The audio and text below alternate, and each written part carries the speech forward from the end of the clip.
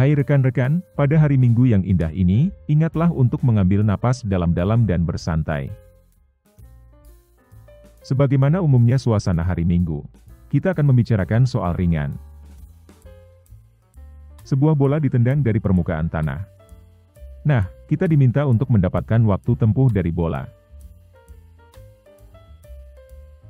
Seperti biasa, kita akan menggambar sebuah kurva berbentuk parabola.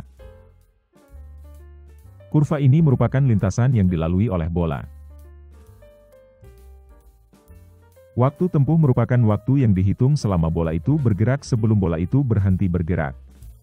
Bola itu berhenti bergerak ketika mencapai permukaan tanah lagi. Jadi kita akan memperhatikan dua titik penting. Titik asal, dan titik satu. Jika dilihat dari titik asal, bola itu memiliki kecepatan awal V0, dan sudut elevasinya adalah beta 0. Permukaan tanah itu tepat berada di sumbu X. Ketinggian akhir dari bola adalah 0. Tulis saja persamaan umum dari objek yang bergerak dengan percepatan tetap.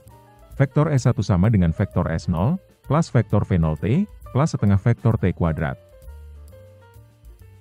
Kita telah tahu ketinggian akhir dari bola, kita hanya tertarik dengan komponen vektor pada sumbu Y. Komponen vektor kecepatan awal pada sumbu Y adalah V0 sinus beta 0. Dan percepatan bola adalah minus percepatan gravitasi. Sekarang kita akan memasukkan nilai dari beberapa besaran fisika. Kita tahu bahwa S0Y dan S1Y adalah 0. Dari sini, T sama dengan 2 V0 sinus beta 0 per G. Inilah persamaan dari waktu tempuh. Kita menyarankan agar kamu tidak menghadap rumus ini, kita hanya tahu konsepnya saja. Nilai di sebelah kanan telah tertera di lembar soal. T sama dengan 4 akar 2 sekon. Tidak rumit bukan soal ini. Selamat belajar semuanya.